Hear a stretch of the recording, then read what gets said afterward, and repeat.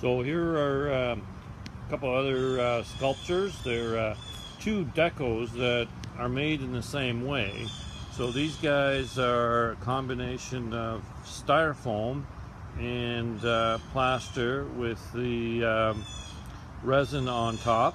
And what you can do is you can work with the components and have enough of a finish on top of them to give it kind of any texture. So this rock that these two geckos are on is actually a uh, um, a chicken wire and uh, bandages structure that's uh, reinforced with um, um, the fiberglass resin and it uh, you know if you kind of back away a little bit it looks like uh, you know a real boulder